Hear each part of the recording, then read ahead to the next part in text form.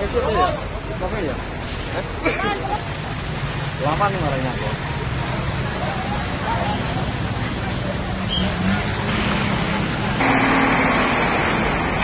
Boleh ke jalan sih Pak, parkir PP.